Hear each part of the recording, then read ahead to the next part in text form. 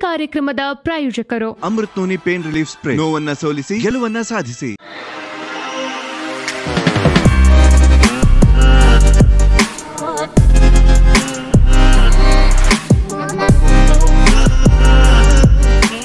Hi friends ದಿನದ ಎಲ್ಲ ಪ್ರಮುಖ ಸುದ್ದಿಯ ನಾನು ನಿಮಗೆ ತಲುಪಿಸೋ ಮಸ್ತ್ ಮಗ ಡಾಟ್ ಕಾಮ್ನ ಫುಲ್ ನ್ಯೂಸ್ಗೆ ಸ್ವಾಗತ. ನಾನು ಅಮರ್ ಪ್ರಸಾದ್.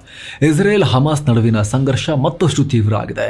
ಇದೀಗ ಹಮಾಸ್ ಉಗ್ರಗಾಮಿಗಳನ್ನು ಮಟ್ಟ ಹಾಕೋಕೆ ಪಣ ತೊಟ್ಟಿರೋ ಇಸ್ರೇಲ್ ಕಳೆದ ಇಪ್ಪತ್ನಾಲ್ಕು ಗಂಟೆಯಲ್ಲಿ ನಾನ್ನೂರಕ್ಕೂ ಅಧಿಕ ಹಮಾಸ್ ಉಗ್ರರ ಅಡಗುದಾಣಗಳ ಮೇಲೆ ದಾಳಿ ಮಾಡಿದೆ. ಈತ ಯುದ್ಧದ ನಂತರ ಯಾರೂ ಹಮಾಸ್ ಭಯೋತ್ಪಾದಕರ ದಬ್ಬಾಳಿಕೆಯಲ್ಲಿ ಬದುಕೋದಿಲ್ಲ. ಅಂದರೆ ಹಮಾಸ್ ಮುಕ್ತ ಗಾಜಾ ಮಾಡ್ತೀವಿ ಅಂತ ಇಸ್ರೇಲ್ ಪ್ರಧಾನಿ ಬೆಂಜಮಿನ್ ನತನ್ಯಾಹು ಶಪಥ ಮಾಡಿದ್ದಾರೆ ಮತ್ತೊಮ್ಮೆ. ಅತ್ತ ಇಸ್ರೇಲ್ಗೆ ಬಂದಿರೋ ಫ್ರಾನ್ಸ್ ಅಧ್ಯಕ್ಷ ಎಮಾನ್ಯಲ್ ಮ್ಯಾಕ್ರಾನ್, ಇಸ್ರೇಲ್ ಅಧ್ಯಕ್ಷ ಐಜಾಗ್ ಹರ್ಜಾಗ್ ಅವ್ರನ್ನ ಮೀಟ್ ಆಗಿ ಮಾತುಕತೆ ನಡೆಸಿದ್ದಾರೆ.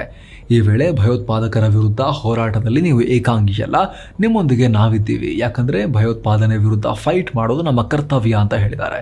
ಜೊತೆಗೆ ಹಮಸ್ ಒತ್ತಾಯಾಳುಗಳನ್ನಾಗಿ ಇಟ್ಟುಕೊಂಡಿರುವ ಇಸ್ರೇಲಿ ಜನರನ್ನ ಬಿಡುಗಡೆಗೊಳಿಸುವುದೇ ನಮ್ಮ ಮೂಲ ಉದ್ದೇಶ ಆಗಿರಬೇಕು ಅಂತ ಮ್ಯಾಕ್ರಾನ್ ಒತ್ತಾಯ ಮಾಡಿದ್ದಾರೆ. ಇದೇ ಟೈಮ್ನಲ್ಲಿ ಮಾತನಾಡಿರುವ ಹೆರ್ಜಾಲ್, ಇರಾನ್ ಬೆಂಬಲಿತ ಹೆಜ್ಬುಲ್ಲಾ ನಮ್ಮನ್ನು ಯುದ್ಧಕ್ಕೆ ಎಳಿತಾ ಇದೆ. ಅದರ ಪರಿಣಾಮವನ್ನು ಲೆಬನಾನ್ ಫೇಸ್ ಮಾಡುತ್ತೆ ಅಂತ ವಾರ್ನ್ ಮಾಡಿದ್ದಾರೆ.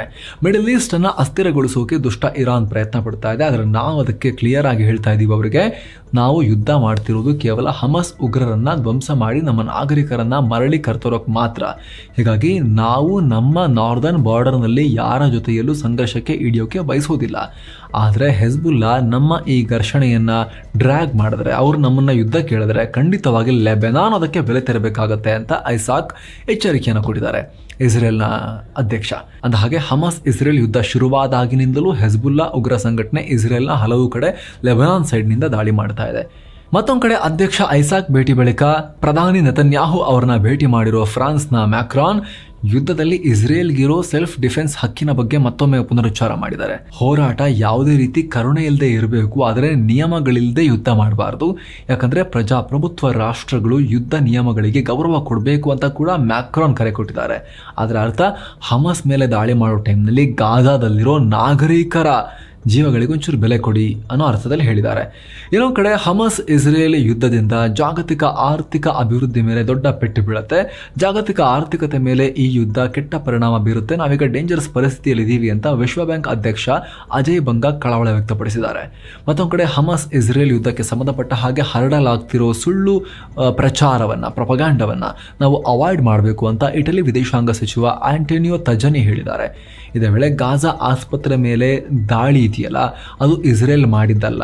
ಈ ದಾಳಿಯಲ್ಲಿ ಮೃತಪಟ್ಟಿರೋದು ಐನೂರು ಜನ ಅಲ್ಲ, ವಾಸ್ತವದಲ್ಲಿ ಸುಮಾರು ಐವತ್ತು ಜನ ಇರಬಹುದು ಅಷ್ಟೇ. ಹೀಗಾಗಿ ನಾವು ಈ ರೀತಿಯ ಸುಳ್ಳು ಪ್ರಚಾರಗಳಿಂದ ಉಂಟಾಗೋ ನೆಗೆಟಿವ್ ಪರಿಣಾಮಗಳನ್ನು ರಿಜೆಕ್ಟ್ ಮಾಡಬೇಕು ಅಂತ ಆಂಟೋನಿಯೋ ಹೇಳಿದ್ದಾರೆ. ಇನ್ನೊಂದು ಕಡೆ ಕದನದಲ್ಲಿ ಹತ್ಯೆ ಮಾಡೋಕೆ ಇಸ್ರೇಲ್ಗೆ ಯಾವುದೇ ಅಧಿಕಾರ ಇಲ್ಲ. ಅನ್ಕಂಡೀಷನಲ್ ಆಗಿ ಹತ್ಯೆ ನಡೆಸೋಕೆ ಇಸ್ರೇಲ್ ಒಪ್ಪಿಗೆ ಕೊಡಬಾರದು ಅಂತ ಕತರ್ ಒತ್ತಾಯ ಮಾಡಿದೆ. ಜೊತೆಗೆ ಈ ಯುದ್ಧ ಉಲ್ಬಣಗೊಳ್ಳೋದನ್ನ ತಡಿಬೇಕು ಅಂತ ಒತ್ತಾಯಿಸ್ತೀವಿ. ಅಂತ ಕತರ್ನ ಎಮಿರ್ ಅಂದರೆ ಮುಖ್ಯಸ್ಥ ಶೇಖ್ ತಮೀಮ್ ಬಿನ್ ಹಮದ್ ಅಲ್ ಥನಿ ಹೇಳಿಕೆಯನ್ನು ಕೊಟ್ಟಿದ್ದಾರೆ.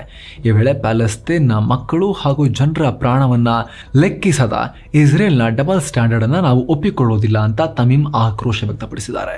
ರಾಜ್ಯದಲ್ಲಿ ಹುಲಿಗುರು ವಿಚಾರಕ್ಕೆ ಸಂಬಂಧಪಟ್ಟ ವಿವಾದ ಸಾಕಷ್ಟು ಸದ್ದು ಮಾಡ್ತಾ ಇದೆ. ಹುಲಿಯುಗುರು ಧರಿಸಿದ ಆರೋಪದ ಮೇಲೆ ಬಿಗ್ ಬಾಸ್ ಮನೆಯಲ್ಲಿದ್ದ ವರ್ತೂರು ಸಂತೋಷ್ ಅವರನ್ನ ಅರಣ್ಯಾಧಿಕಾರಿಗಳು ಬಂಧಿಸಿದ ಬಳಿಕ ಇನ್ನುಳಿದ ಸೆಲೆಬ್ರಿಟಿಗಳ ಮೇಲೂ ಕೂಡ ಕಣ್ಣು ಬಿದ್ದಿದೆ. ಇದೀಗ ಸ್ಯಾಂಡಲ್ವುಡ್ ನಟ ದರ್ಶನ್ ಅವರು ಕೂಡ ಹುಲಿ ಉಗುರಿನ ಲಾಕೆಟ್ ಧರಿಸಿದ್ದಾರೆ ಅನ್ನೋ ಆರೋಪ ಕೇಳಿಬಂದಿದೆ. ಅಲ್ಲದೆ ವಿನಯ್ ಗುರೂಜಿ ಹುಲಿ ಚರ್ಮದ ಮೇಲೆ ಕೂತಿದ್ದಾರೆ ಅನ್ನೋ ಆರೋಪ ಕೂಡ ಬಂದಿದೆ. ಇದಕ್ಕೆ ಸಂಬಂಧಪಟ್ಟ ಹಾಗೆ ಸರ್ವ ಸಂಘಟನೆಗಳ ಒಕ್ಕೂಟ ಅನ್ನೋ ಒಂದು ಸಂಘಟನೆಯವರು ಈಗ ಅರಣ್ಯಾಧಿಕಾರಿಗಳಿಗೆ ದೂರು ಕೊಟ್ಟಿದ್ದಾರೆ. ಈ ಕಾರಣಕ್ಕೆ ದರ್ಶನ್ ಹಾಗೂ ವಿನಯ್ ಗುರೂಜಿಗೆ ಕಾನೂನು ಸಂಕಷ್ಟ ಎದುರಾಗೋ ಸಾಧ್ಯತೆ ಇದೆ ಅಂತ ಹೇಳಲಾಗ್ತಾ ಇದೆ. ಬಿಗ್ ಬಾಸ್ನ ಸ್ಪರ್ಧಿ ಕುದಿಗೆಯಲ್ಲಿ ಕಂಡಿದ್ದೇ, ಕಂಡಿದ್ದು ಈಗ ಸತ್ತಿರೋ ಹುಲಿಯ ಪ್ರೀತಾತ್ಮ ಎದ್ದು ಬಂದು ಎಲ್ಲರನ್ನ ಬರ ಬರ ಬರ ಅಂತ ಪರಚ್ತಾ ಇದೆ. ಸೆಲೆಬ್ರಿಟಿಗಳನ್ನ ಮುಖ, ಮೂತಿ ಥರ ಭಾಗ ನೋಡದೆ ಪರಚ್ತಾ ಇದೆ. ವೈಭವದ ನಾಡ ಹಬ್ಬ ದಸರಾಗೆ ಕೊನೆ ದಿನ.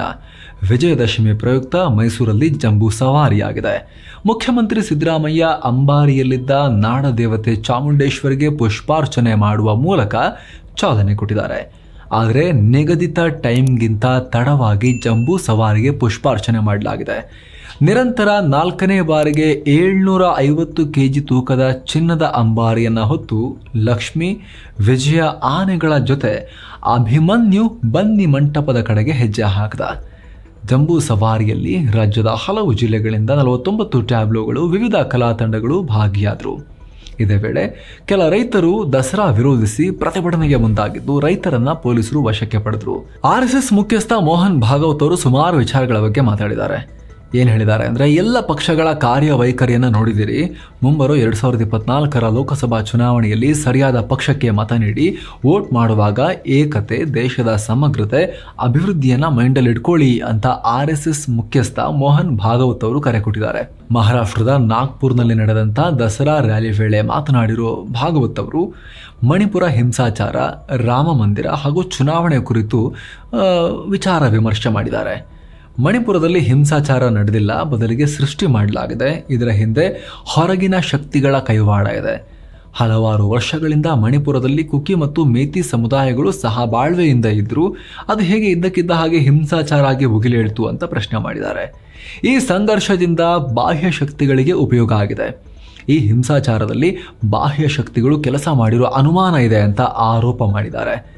ಏನು ಕಮ್ಯುನಿಸ್ಟ್ ನಾಯಕರ ವಿರುದ್ಧವೂ ಕಿಡಿಕಾರಿರುವ ಭಾಗವತ್ ಅವರು ಕೆಲ ವಿಧ್ವಂಸಕ ಶಕ್ತಿಗಳು ತಮ್ಮನ್ನ ತಾವು ಸಾಂಸ್ಕೃತಿಕ ಮಾರ್ಕ್ಸ್ವಾದಿಗಳು ಅಂತ ಕರ್ಕೊಳ್ತಾರೆ. ಆದರೆ ಸಾವಿರದ ಒಂಬೈನೂರ ಇಪ್ಪತ್ತರ ದಶಕದ ನಂತರ ಅವರು ಮಾರ್ಕ್ಸ್ ಅನ್ನು ಕೂಡ ಮರೆಚಿದ್ದಾರೆ ಎಲ್ಲದನ್ನೂ ಅವರು ವಿರೋಧಿಸ್ತಾರೆ. ಸ್ವಯಂ ಸೇವಕನೇ ಆಗಿರಲಿ ಅಥವಾ ಬುದ್ಧ ಕಮ್ಯುನಿಸ್ಟೇ ಆಗಿರಲಿ, ಯಾರೇ ಒಳ್ಳೆ ಕೆಲಸ ಮಾಡಿದ್ರು ಇವರು ಹಾಳು ಮಾಡ್ತಾರೆ ಅಂತ ಹೇಳಿದ್ದಾರೆ.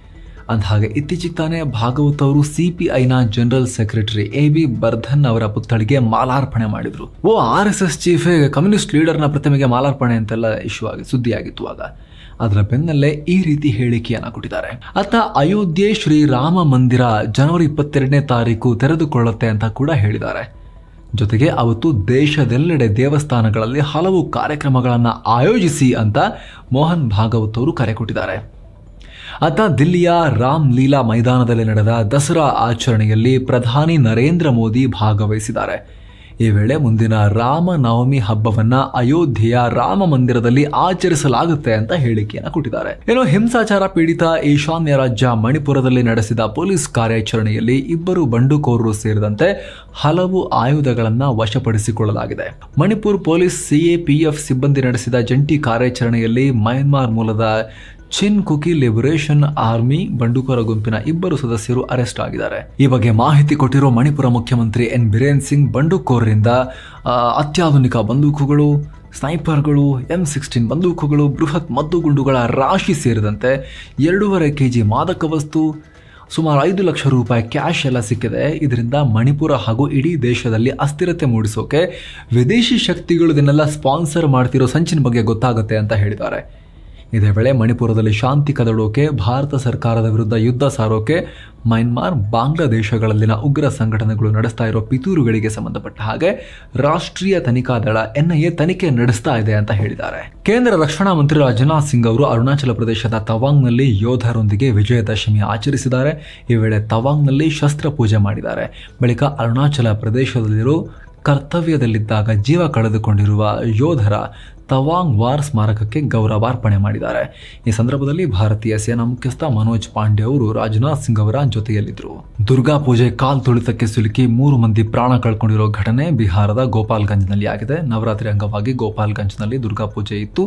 ಈ ಟೈಮ್ನಲ್ಲಿ ನೂಕುನುಗ್ಗಲು ಉಂಟಾಗಿ ಇಬ್ಬರು ಮಹಿಳೆಯರು ಸೇರಿ ಒಂದು ಮಗು ಕಾಲ್ ತುಳಿತಕ್ಕೆ ಮೃತಪಟ್ಟಿದ್ದಾರೆ. ಜೊತೆಗೆ ಈ ಕಾಲ್ ತುಳಿತದ ವೇಳೆ ಹತ್ತಕ್ಕೂ ಅಧಿಕ ಮಂದಿ ಗಾಯಗೊಂಡಿದ್ದಾರೆ. ದುರ್ಗಾ ಪೂಜೆಯಲ್ಲಿ ಹೆಚ್ಚಿನ ಸಂಖ್ಯೆಯಲ್ಲಿ ಜನ ಸೇರಿ ಕಂಟ್ರೋಲಿಗೆ ಬರದೆ ಈ ಘಟನೆ ಆಗಿದೆ ಅಂತ ಹೇಳಲಾಗ್ತಾ ಇದೆ.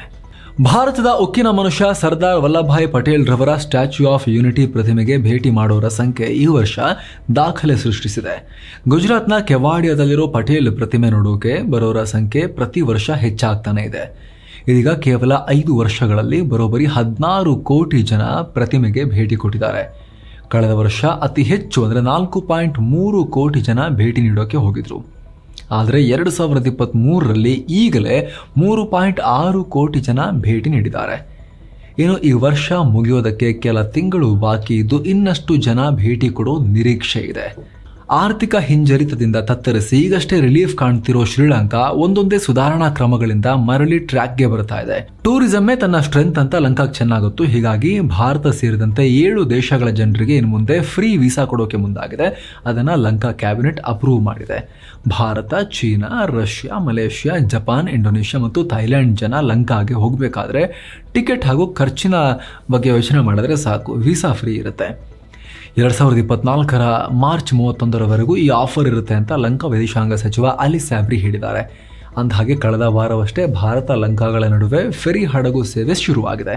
ಈಗ ಫ್ರೀ ವೀಸಾ ಕೂಡ ಸಿಗೋದ್ರಿಂದ ಈಗಾಗಲೇ ಲಂಕಾಗೆ ಭೇಟಿ ಕೊಡೋ ವಿದೇಶಿಗರ ಪೈಕಿ ಇಪ್ಪತ್ತಾರು ಪರ್ಸೆಂಟ್ ಭಾರತೀಯರೇ ಇದ್ದು, ಈ ಪರ್ಸೆಂಟ್ ಇನ್ನಷ್ಟು ಜಾಸ್ತಿ ಆಗಬಹುದು ಅಂತ ಹೇಳಲಾಗ್ತಿದೆ. ಸೊ ಫ್ರೆಂಡ್ಸ್ ಇದಾಗ್ತಿ ಇವತ್ತಿನ ಫುಲ್ ನ್ಯೂಸ್ ನಾವು ಕೊಯ್ದಿಲ್ಲ, ಎಳೆದಿಲ್ಲ, ಕಿರ್ಚಾಡಿಲ್ಲ. ಕೇವಲ ಸುದ್ದಿಯನ್ನ ಸುದ್ದಿಯ ರೀತಿಯಲ್ಲಿ ನಿಮಗೆ ತಲುಪಿಸುವ ಪ್ರಯತ್ನವನ್ನು ಮಾಡಿದ್ದೀವಿ. ನಮ್ಮ ಈ ಪ್ರಯತ್ನ ನಿಮಗೆ ಇಷ್ಟ ಆಗ್ತಾ ಇದ್ರೆ ದಯವಿಟ್ಟು ಮಸ್ತ್ ಮಗ ಡಾಟ್ ಕಾಮ್ ಚಾನಲ್ಗೆ ಸಬ್ಸ್ಕ್ರೈಬ್ ಮಾಡಿ, ಪಕ್ಕದ ಬೆಲ್ ಐಕಾನ್ ಮೇಲೆ ಕ್ಲಿಕ್ ಮಾಡೋದನ್ನ ಯಾವುದೇ ಕಾರಣಕ್ಕೂ ಮರಿಬೇಡಿ. ಥ್ಯಾಂಕ್ ಯು ಸೋ ಮಚ್ ಮತ್ತೆ ಮತ್ತೆ ಭೇಟಿ ಆಗ್ತಿರೋಣ ನಮಸ್ತೆ.